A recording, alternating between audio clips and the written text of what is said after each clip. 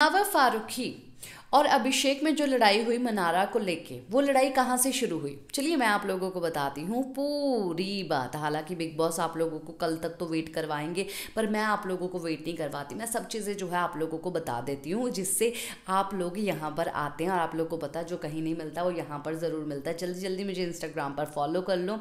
और एक्चुअली में जो अभिषेक है और जो बाबू भैया है, वो खड़े होकर बात कर रहे होते हैं।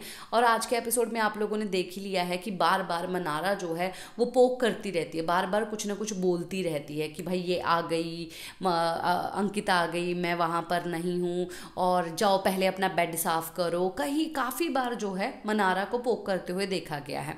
तो यही चीज़ जो है वो अभिषेक के साथ भी कर रही है। अभिषेक को भी वो पोक करिए, जैसे कि वो ऐस ऐस करके जो वो गाली दे रही है। एक्चुअली में इसका मतलब ये होता है कि जो डोंकी रहता है उससे एक डोंकी के जैसा एक छोटी प्रजाति जाती रहती है डोंकी की, जिसके बाल जिसके कान जो है बहुत लंबे होते हैं, उसको जो है ये बोला जाता है, गधा ही है, और वो अपने, अपनी गाली पे इसीलिए अटके क्योंकि उसको पता है कि ये गाली का मतलब गंदा नहीं है, पर दूसरे लोग जो है इस गाली को गलत समझ रहे हैं।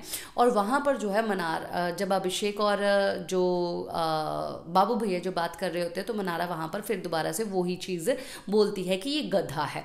एक टोन मारती है, जिसके बाद जो है बहुत ज़्यादा गुस्सा आता है अभिषेक अभिषेक को और अभिषेक जो है इवन मनारा के पाँव तक छूता है कि वह अभी बस कर दे। ये सब चीज़ें भी हुई। तो वहाँ पर मनारा ने फिर दोबारा से कंटिन्यू किया, जहाँ पर मुनावर भी आया और मुनावर ने बोला कि, भाई तू जा, जाके उसके साथ लड़ ले, मैं कुछ नहीं बोलूँगा। क्योंकि वो इसमें आना ही नहीं चाहता था बिकॉज़ वहाँ पर मुनावर था ही नहीं। मुनावर को उस मैटर के बारे में पता ही नहीं है। पर हाँ मुनावर जो है प्रोटेक्ट करता हुआ मुनारा को नज़र आया है। पर मनारा के जो है, कुछ ज़्यादा ही ठाठ अलग हो चुके हैं। अब जो है लोगों का कहना ये है कि मुनारा के कारण बहुत अच्छी दोस्ती जो है मुनावर और अभिषेक की टूट रही है। अभिषेक और मुनावर की बहुत ऑर्गेनिक दोस्ती है। मुनावर को बहुत अच्छे से भाई भाई मानता है अभिषेक और अच्छे से जो है उसको ट्रीट करता है और मुनावर को भी ये चीज़ पता है कि इनकी दोस्ती बहुत अच्छी डे वन से जो है दोस्ती काफ़ी अच्छी दिखाई दे रही है।